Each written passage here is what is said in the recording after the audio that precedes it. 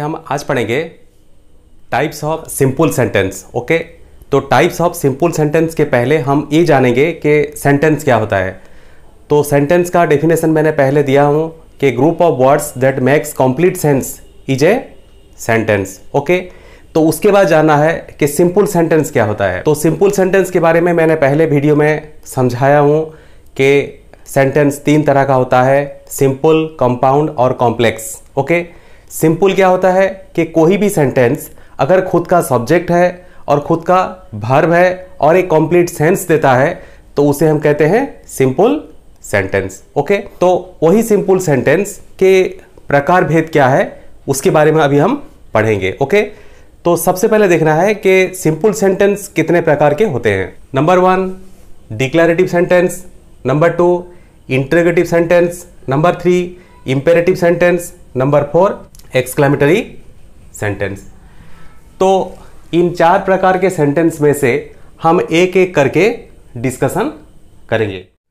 ये declarative sentence क्या होता है? ओके देखिए declarative sentence is a statement that declares something और tells information about something okay क्या करता है वो? ये सेंटेंस एक स्टेटमेंट होता है जो कुछ भी हमें डिक्लेयर करता है और किसी चीज़ के बारे में, किसी के बारे में हमें वो इंफॉर्मेशन देता है। अगर कोई सेंटेंस अगर किसी चीज़ के बारे में हमें कोई स्टेटमेंट देता है, कोई इंफॉर्मेशन देता है, उसे हम कहते हैं डिक्लेरेटिव सेंटेंस यानी वो सेंटेंस किसी चीज़ के बारे में डिक्लेयर करता है कि वो चीज़ ऐसा ही है ओके जैसे एग्ज़ाम्पल एग्ज़ाम्पल में दिया गया है, Ramesh has done his homework.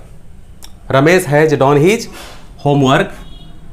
Ramesh उसका होमवर्क कर चुका है वो। यानी ये सेंटेंस हमें ये इंफॉर्मेशन देता है कि रमेश उसका काम ऑलरेडी कर चुका है। सेकंड एग्ज़ाम्पल दे रहा है वो ही टीचेस मी इंग्लिश वो मुझे इंग्लिश पढ़ाता है। ये सेंटेंस हमें ये इंफॉर्मेशन देता है कि वो हमें इंग्लिश पढ़ाता है। ओके ये दोनों सेंटेंस में सब्जेक्ट हमें कोई ना कोई इंफॉर्मेशन देता है, किसी चीज़ के बारे में वो डिक्लेयर करता है। इसलिए इसको बोलते हैं डिक्लेरेटिव सेंटेंस फिर उसके बाद पढ़ेंगे हम अपना इंटरोगेटिव सेंटेंस अब देखते हैं इंटरोगेटिव सेंटेंस क्या होता है। इंटरोगेटिव सेंटेंस ये sentence that ask question about something और somebody is called an interrogative sentence यानी कोई भी सेंटेंस अगर किसी चीज़ के बारे में या किसी के बारे में अगर हमें वो सवाल पूछता है तो उसे हम कहते हैं इंट्रोगेटिव सेंटेंस यानी इंट्रोगेटिव सेंटेंस का दूसरा नाम होता है क्वेश्चन वाइज सेंटेंस ओके जैसे एग्ज़ाम्पल दिया गया है होयार आर यू गोइंग कहाँ तुम जा रहे हो? कहाँ तुम जा रहे हो? ये हमसे सवाल पूछ रहा है कि आप कहाँ जाते हो? Okay are you going to school क्या आप स्कूल जाते हैं? ये भी एक सवाल पूछ रहा है, क्या आप स्कूल जाते हैं? और ये दोनों सेंटेंस एंड हुआ है एक क्वेश्चन मार्क से। इसका नाम होता है क्वेश्चन मार्क्स ओके तो कोई भी सेंटेंस अगर किसी से कुछ सवाल पूछ रहा है और वो एंड होता है क्वेश्चन मार्क से तो उसे हम कहते हैं इंट्रोगेटिव सेंटेंस ओके उसके बाद हम पढ़ेंगे इंपेरेटिव सेंटेंस इंपेरेटिव सेंटेंस क्या होता है? Imperative sentence the sentence that tells someone to do something okay to do something is called imperative sentence यानी किसी से कुछ करवाने के लिए अगर सेंटेंस कहता है, उसे हम कहते हैं इंपेरेटिव सेंटेंस वो क्या हो सकता है?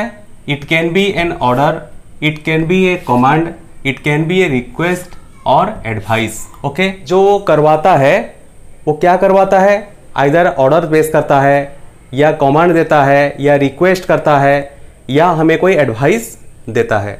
और ए सेंटेंस फुल स्टॉप से एंड होता है। ओके जैसे लीव दिस प्लेस इमीडिएटली कि जितना जल्द हो, इस जगह छोड़ दीजिए।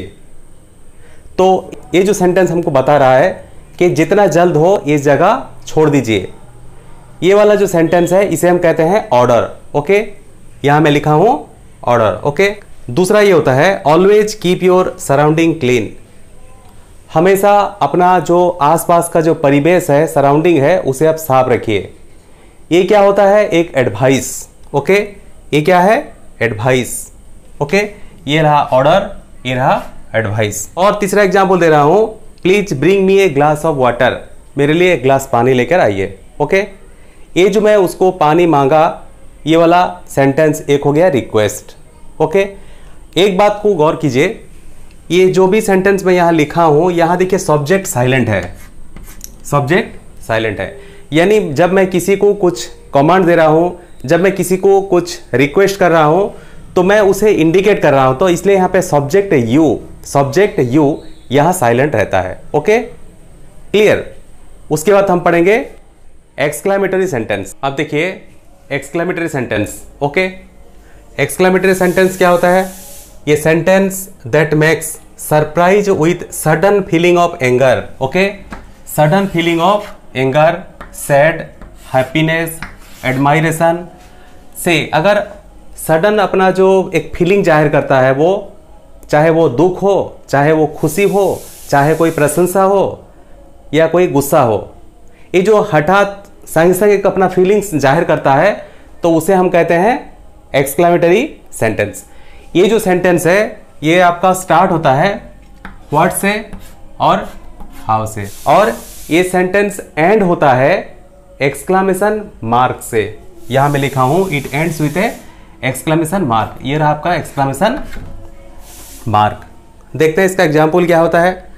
जैसे हाउ सेल्फिश यू आर देखिए, कितना खुदगर्ज है। अगर किसी लड़के के बारे में मैं उसका बिहेवियर देखा, देखने के बाद तो उसे मैं बताऊँगा हाउ सेल्फिश यू आर तुम कितना खुदगर्ज हो। तो यानी मैं अपना दुख उसे ज़ाहिर किया कि देखिए, तुम कितने खुदगर्ज हो। ओके? ये सेंटेंस स्टार्ट हुआ देखिए कैसे? हाउ से। ओके? एंड किससे हुआ? एक्सक्लेमेशन मार्क से। ओके? और देखिए एक सेंटेंस है what a sweet voice she has कितना प्यारा सा आवाज़ उसका है। ये जो कितना सा, कितना प्यारा सा आवाज़ उसका है ये जो मैंने बताया, ये सेंटेंस देखिए स्टार्ट हुआ कहाँ से? वर्ड से? और एंड कहाँ हुआ? एक्सक्लेमेशन मार्क से। What a sweet voice she H कितना प्यारा आवाज़ उसका है। ये मैंने एक अपना खुशी और एक उसको प्रशंसा में किया। उसका गाना सुनने के बाद मैंने उसको हटाते प्रशंसा किया। कितना प्यारा आवाज़ उसका है। तो इस तरह का सेंटेंस को हम कहते हैं एक्सक्लेमेटरी सेंटेंस ओके ये रहा टाइप्स ऑफ़ सिंपल सेंटेंस और सेंटेंस के प्रकार भेद के बारे में मैंने पहले वीडियो में समझा चुका हूँ और उसका लिंक मैंने डिस्क्रिप्शन बॉक्स में डाल दिया हूँ।